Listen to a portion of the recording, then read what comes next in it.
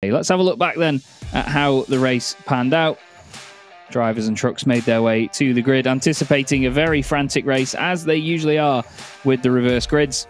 Jose Rodrigues starting alongside Lucas Hahn on the front row, both of them eyeing up a victory, knowing that the opportunity was right there. With Jamie Anderson starting third, though, they knew it was going to be no easy feat, and a lot of the drivers behind were hoping for big battles at the front that would all hold one another up.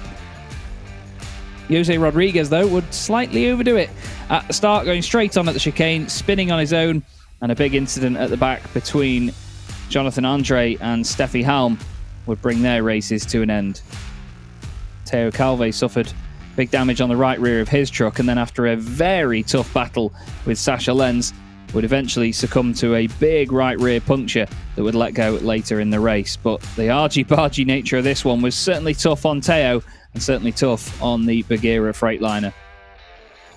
Sascha Lenz would then have to try his best to fight through the pack further and hold off Jochen Hahn, which he would do to the end, but it was the other Hahn, Lucas, that was defending the hardest. Jamie Anderson all over the back of him. Shane Brereton, Antonio Albacete, Steffen Faas, all following in the clouds of smoke from Teo Calvet's truck that eventually did let go. And so too did Andre Kursim coming into the final corner. I mentioned earlier that he's had a lot of bad luck with right-handers this weekend, and guess what? That was another one of them. There was the defining moment of the race, though. Lucas Hahn just tapped wide a little bit by Jamie Anderson coming out of the final corner. Adam Lacko nearly takes advantage, but Jamie Anderson wins for the third time in the Goodyear FIA European Truck Racing Championship.